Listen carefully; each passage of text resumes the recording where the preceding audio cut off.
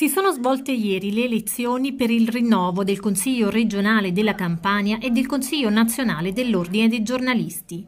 Al Consiglio regionale tutti eletti al primo turno i professionisti della lista Giornalisti per la Campania, capeggiata dal presidente uscente Ottavio Lucarelli.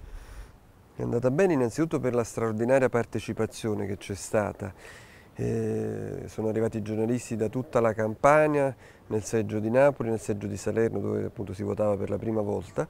E sono arrivati anche colleghi da altre regioni, colleghi campani che lavorano a Roma, a Bologna, Firenze, Milano, una partecipazione straordinaria, tutti eletti al primo turno, la nostra lista dei giornalisti per la Campania, professionisti e pubblicisti, ha ottenuto oltre il 90%, delle, delle, preferenze, quindi tutte elette, quindi è già composto il Consiglio dell'Ordine regionale, eletti anche i revisori dei conti e, e abbiamo anche già eletti i, i consiglieri nazionali. Al Consiglio nazionale sono stati eletti Carlo Verna e Antonio Sasso, già consiglieri nazionali uscenti.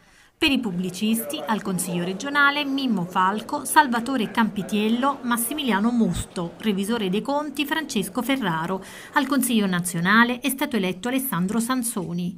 Entro il mese di ottobre, Consiglio regionale e Consiglio nazionale si riuniranno per eleggere le cariche di presidente, vicepresidente, segretario e tesoriere.